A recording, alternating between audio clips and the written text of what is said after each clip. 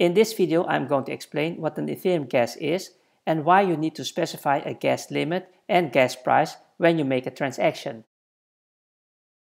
When a Solidity contract is compiled, it is converted into a sequence of operation codes, also known as opcodes. Opcodes are referenced by their mnemonic names, such as add for addition or mul for multiplication. All opcodes and their descriptions are available in the Ethereum Yellow Paper. This is the yellow paper written by Gavin Wood. In Appendix G, you will find the fee schedule. For example, if you apply the SHA-3 operation, it requires 30 gas units. A few side notes. Bytecodes are similar to opcodes, but are represented by hexadecimal numbers. The Ethereum virtual machine executes the bytecodes. Here is an example Solidity contract. And here are the opcodes. And here's the bytecode. I have copied these opcodes in a text file and each of these opcodes has a specific gas unit assigned. For example, if you execute this function, each of these statements requires an X number of gas. Each opcode has a fixed amount of gas assigned and is a measure of computational effort. For example, add requires 3 gas units, calculating SHA-256 requires 60 gas units.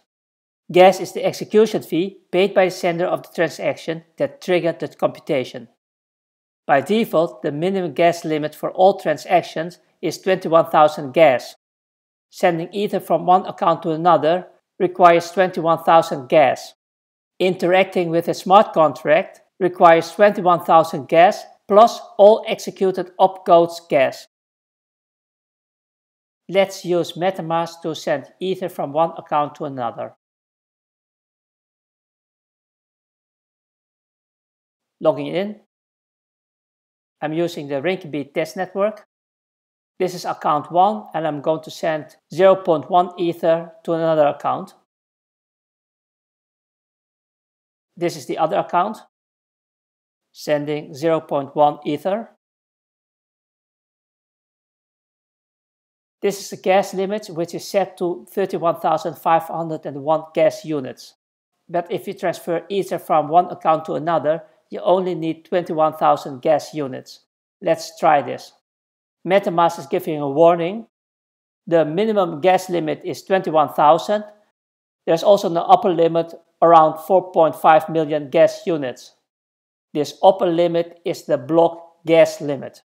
All right, let's set it to 21,000 and see if this transaction will be executed. It's now pending. The transaction is executed press this icon. This is the gas limit which I have set and this is the actual gas used by this transaction. Let's try it again to the same account, same amount. This is a gas limit set by MetaMask. It is the minimum gas limit of 21,000 plus 50% on top of it. Let's leave this value as it is and now press the submit button. All right. Let's click this icon. This is the gas limit which we have set, but this is the actual gas used by the transaction.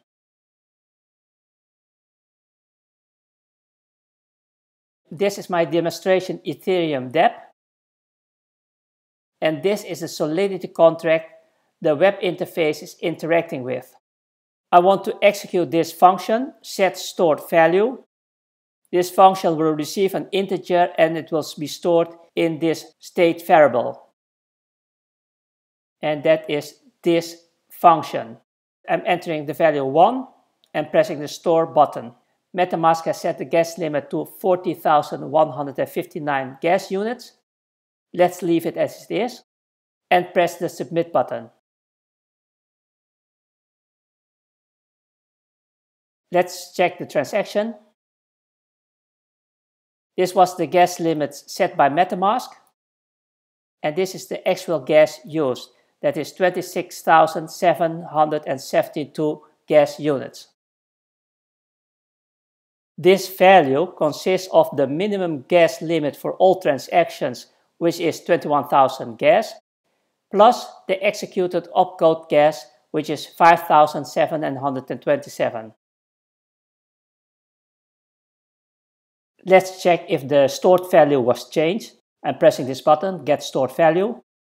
As you can see, the value is changed to 1. Let's change this value to 5.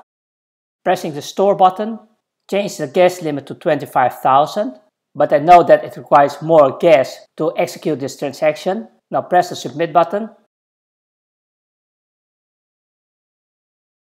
This is a transaction. Let's check it. As you can see, I've specified the gas limit of 25,000, but the gas use is 25,000, which means that this transaction has failed because the gas use is the same as the gas limit. Let's check it. I've set the value to 5. If I press the get stored value, it still displays the value of 1, which means that the value has not been changed. This means that if you specify a gas limit which is lower than the actual gas used, the transaction will fail, the operation will be reverted, but you will still pay for the actual gas used, which is 25,000 in this case. For users, it is impossible to know how much gas a transaction will actually require. When executing a transaction, a user can specify the maximum amount of gas it is willing to spend on the transaction. This can be done in the gas limit field.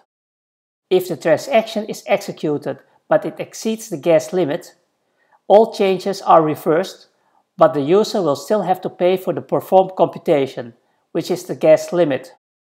If the transaction is executed but requires less gas than the gas limit, the user will only pay for the actual gas used. It is not recommended to specify a large gas limit.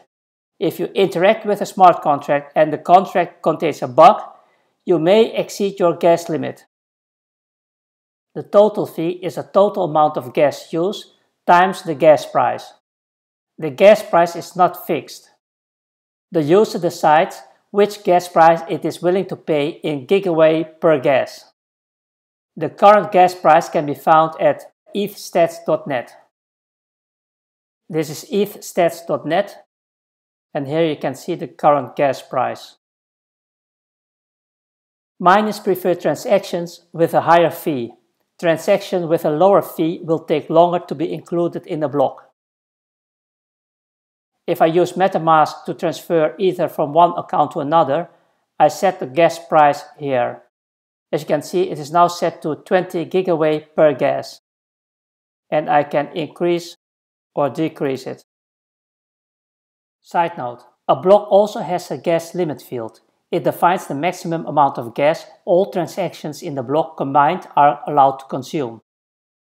This block gas limit determines the maximum number of transactions within the block. This block gas limit is not fixed. The block gas limit is set by miners. If the block gas limit is increased, more transaction fees they will get, but the more bandwidth and computing they would have to do. Previously, I've shown you where you can find the current gas price. But I forgot to mention that I'm using the Rinkeby testnet, as you can see over here. If you want to find the current gas price of the Rinkeby testnet, then go to www.rinkeby.io.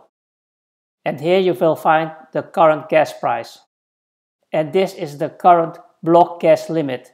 It is set around 4.7 million gas. If I change the gas limit, set it to 2 for instance, this is the block gas limit I've mentioned earlier. Thanks for watching. I hope you enjoyed the video. Please hit the like button and don't forget to subscribe. If you have questions, leave your comments below. I'll do my best to answer them.